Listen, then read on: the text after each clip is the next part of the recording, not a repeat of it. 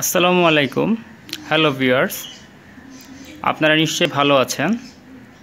আজকে আমি লাভ বার্ডের soft food সম্পর্কে একটু বলব।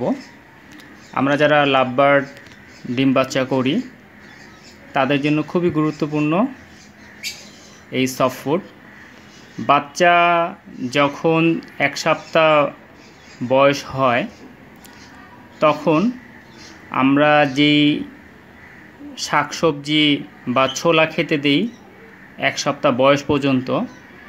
এরপরে কিন্তু বাচ্চাকে লাভবার্ড সাধারণত সবজি বা ছোলা শশা আপেল আমরা যে সমস্ত নরম খাবার, সবজি জাতীয় খাবার লাভবার্ডকে দিয়ে থাকি বাচ্চাকে খাওয়ানোর জন্য। সেগুলো কিন্তু এক সপ্তাহ বয়স হয়ে গেলে কিন্তু লাভবার্ড আস্তে আস্তে কমিয়ে ফেলে খাওয়ানো। বাচ্চাকে এগুলো খাওয়াতে চায় না। ঠিক তখন বাচ্চাগুলো দুর্বল হয়ে যায়, আস্তে আস্তে দুর্বল হয়ে পড়ে। সেজন্য আমাদের ওই নর্মাল আমরা যে সমস্ত সবজি বা ফ্রুট দিচ্ছিলাম, ওর, ওটার পাশাপাশি আমাদেরকে সফট ফুড অবশ্যই দিতে হবে। তাহলে আপনার বাচ্চা আশা করি একটাও মরবে না। ভিউয়ার্স আপনারা নিশ্চয়ই বুঝতে পারছেন আমার কথা যে আমি সফটফুডে প্রতি কেন বেশি ঝোঁক দিচ্ছি? যে খুবই গুরুত্বপূর্ণ যদি সফটফুডটা আমরা বাচ্চাকে না দেই, তাহলে বাচ্চাটি মারা যাবে। এখন আপনারা বলতে পারেন যে সফটফুডটা কী? সফটফুড হলো যে বিভিন্ন রকম ডাল, মসুরির ডাল, ছোলা ভুট্টা, খেসারির ডাল ইত্যাদি অনেক রকম ডালের সংমিশ্রণে একটি সফট ফুড তৈরি করা হয়। এটা ইচ্ছা করলে আপনারা বাজার থেকেও কিনতে পারেন রেডিমেড পাওয়া যায়। যে আমার সামনে একটি আছে হ্যাঁ এটি এটি পাখিকে দেওয়া যাবে। হুম, এটি এক কেজি, এটার দাম একশো টাকা নিবে। এক কেজি একটি প্যাকেট। আমি আপনাদেরকে খুলে দেখাচ্ছি।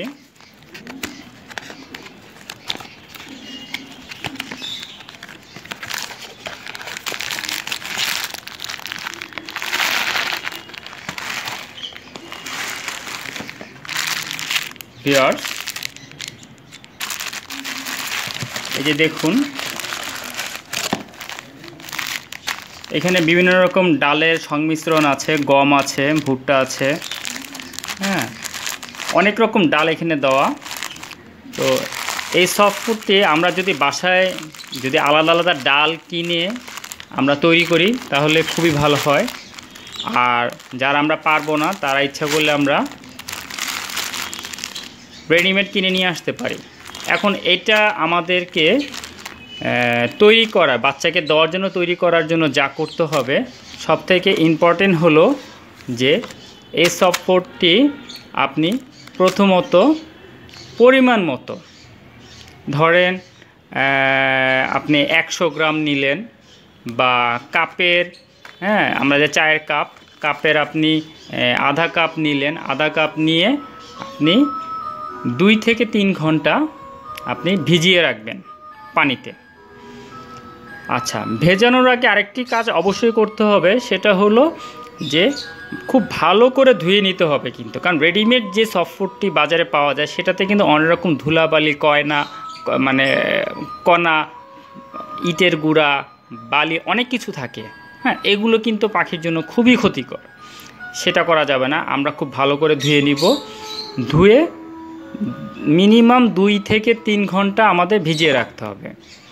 এরপর আমরা এক চিমটি লবণ দিয়ে সেই সফটফুডটি আমরা সেদ্ধ করব বিশ থেকে পঁচিশ মিনিট চুলাতে।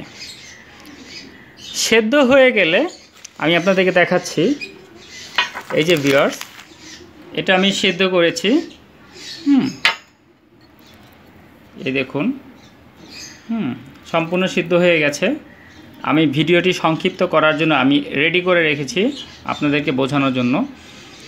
সেদ্ধ হয়ে গেলে আমরা এটার সাথে ইচ্ছা করলে যদি আরও প্রোটিন বাড়াতে চাই, তাহলে একটি সিদ্ধ ডিম নিতে পারব।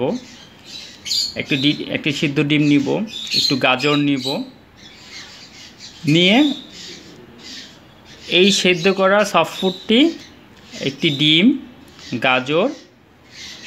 গাজর ধরেন দুই থেকে তিন স্লাইস মানে পিচ করা আমরা যে গোল গোল করে পিচ করি করে গাজরটি সিদ্ধ করে নিতে হবে ভিওর্স মনে রাখবেন, গাজরটি যেহেতু আমরা পরে নিচ্ছি, গাজরটিকেও আমাদের সিদ্ধ করে নিতে হবে ডিম যখন সিদ্ধ করবে, তখন গাজরটিকেও সিদ্ধ করে নিব সিদ্ধ করে সম্পূর্ণটাকে আমরা ব্লেন্ডিংয়ে ব্লেন্ডিং করব।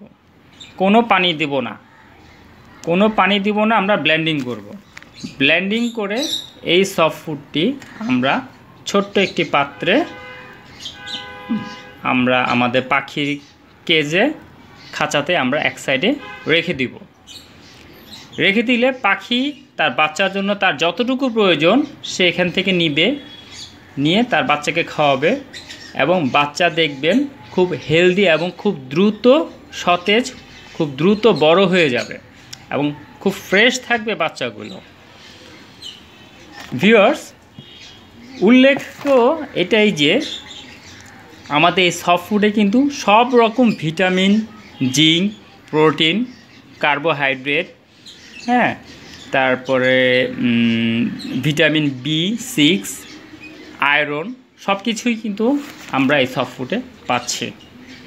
ভিউয়ার্স আপনারা নিশ্চয়ই আমার কথাগুলো নিশ্চয়ই ভালো করে বুঝতে পারছেন হ্যাঁ?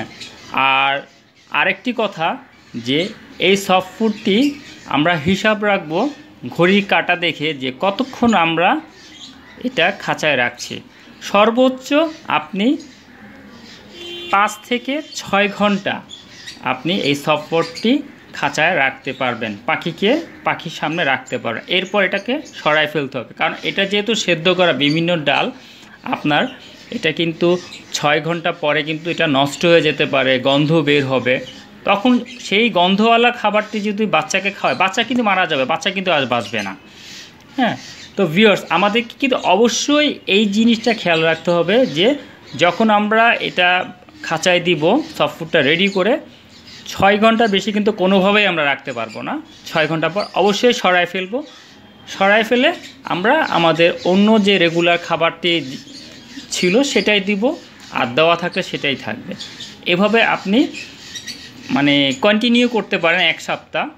হ্যাঁ দেখবেন যে ইনশাল্লাহ আপনার বাচ্চা খুব ফ্রেশ হবে। যদি ডিম বাচ্চা, আপনার চারটা বা পাঁচটা বাচ্চা ফুটে হ্যাঁ ইনশাল্লাহ সবগুলো বাচ্চাই আপনার টিকবে, কোনো বাচ্চা মরবে না। সাধারণত খাবারের ঘাটতির কারণে কিন্তু বাচ্চা বড় হওয়ার পরও মারা যায়, যখন বাচ্চা ক্যালোরি পায় না। কারণ দুইটি পাখি, চারটা বাচ্চাকে যখন খাওয়ায়, তখন আপনারা নিজে থেকেই বুঝতে পারতেছেন যে চারটা বাচ্চাকে দুটি পাখি মিলে খাওয়াচ্ছে, কতটুকু খাবার খাওয়াচ্ছে?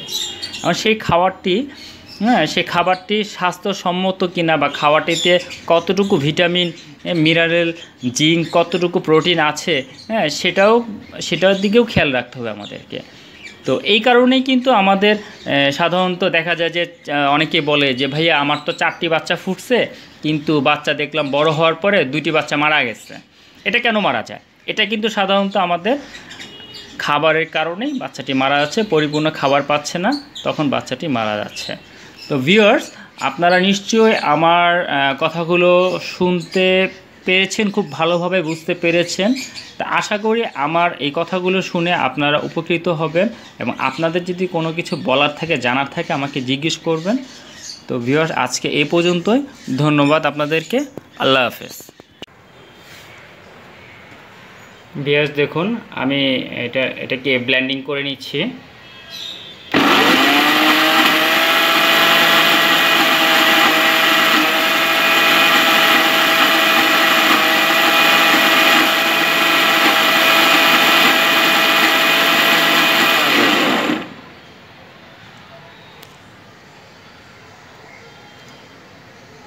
মোটামুটি হালকা গুঁড়ো হয়ে গেলেই হবে। বেশি ক্র্যাশ না করলেও চলবে। আমি সম্পূর্ণটি ক্র্যাশ করে নিয়েছি। ক্র্যাশ করার পর আমার সফট ফুডটি এরকম কালার হয়েছে। এখন আমি পাখিকে খেতে দিব।